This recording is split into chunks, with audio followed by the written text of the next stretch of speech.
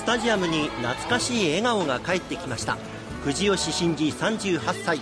かつてミスターベガルタと呼ばれた選手です。藤吉は2000年から3年間ベガルタでプレー。明るいキャラクターと数々のパフォーマンスで多くのサポーターに愛されました。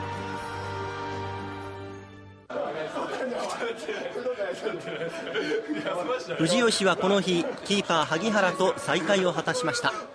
藤吉と一緒にプレーした選手も現在は少なくなりましたがその萩原は成長した姿を見せようと気合十分でした。開始直後にいきなり好セーブを見せます。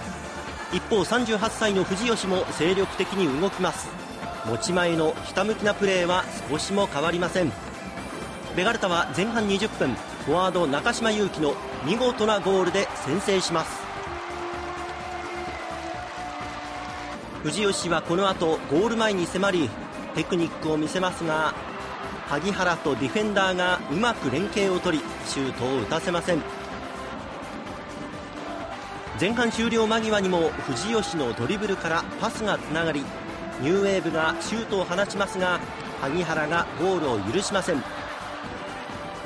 後半もゴールを狙う藤吉のすぐ目の前で萩原が素晴らしいセーブ。体を張ってピンチをしのぎます。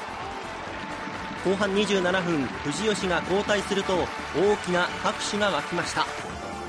試合は後半ロスタイム。田上がゴールを奪い2対0ベガルタが勝利をものにします。試合後自らの応援歌が聞こえてくると藤吉はサポーターのもとへ走ります。